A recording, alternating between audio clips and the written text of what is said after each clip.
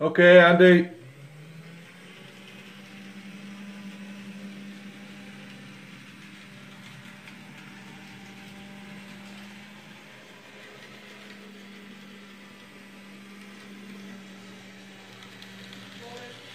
You are right?